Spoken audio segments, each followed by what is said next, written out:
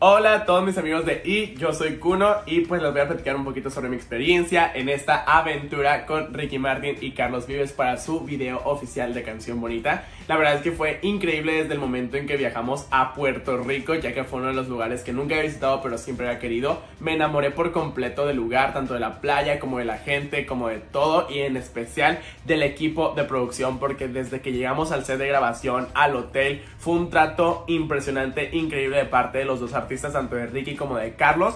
Ya es oficial que puedo comentarles de esto, de que el video fue increíble y también tuvo una respuesta súper bonita porque se nota como hubo esa energía y esa conexión de amistad y de como interacción entre todos, tanto de los bailarines, como les digo, la parte de la producción, la parte de las personas que estaban grabando, tanto de Ricky como de los managers, como de Carlos.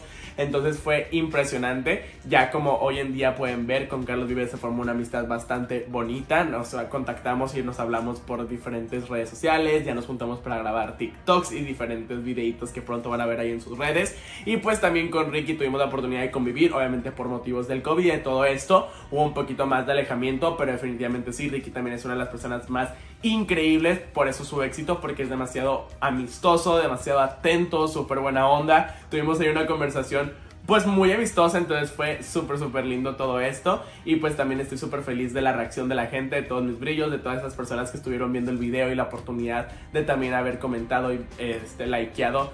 Y pues como eh, movido el video. Entonces sí fue impresionante, estoy muy feliz, un sueño más es una oportunidad impresionante porque pues puede mostrar otra vez quién soy, de lo que soy capaz, de lo que tenemos obviamente preparado, porque claro que tenía bastante guardadito esto que había hecho yo en Puerto Rico, nadie se lo esperaba hasta el momento en que salió el video y pues ya lo pueden ver, acuérdense de ver el video Canción Bonita en todas las plataformas, escuchar la canción y pues les mando un abrazo y un besote a toda la familia ahí, a Ricky Martin, a Carlos Vives, a mis brillos y a todos quienes están viendo este video.